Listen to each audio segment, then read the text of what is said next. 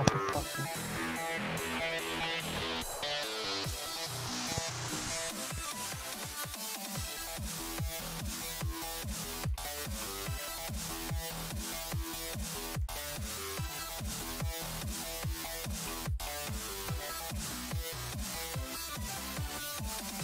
I um make a demon sus and then just call it the official demon sus?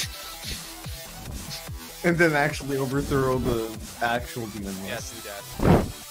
Yes. What's the non-official demon sus?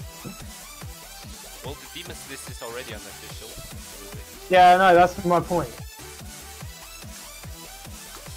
That's right. That's the one thing I used to hate about it. It's just it called themselves official. It's like how? Who the hell gave you the title?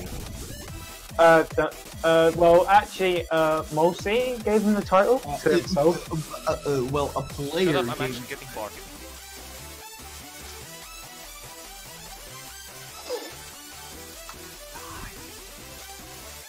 Shut up.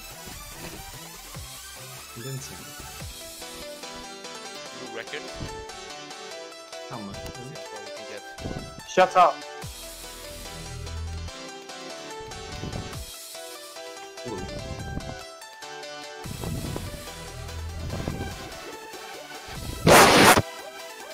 Oh my god, how much? My game is lagging.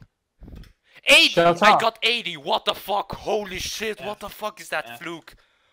Alright, because you're gonna upload this to YouTube. How Cunt. much? Oh from how much? 80. I got 80 from zero. From how much?